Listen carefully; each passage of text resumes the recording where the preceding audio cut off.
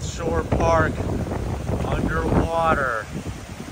Look at all this.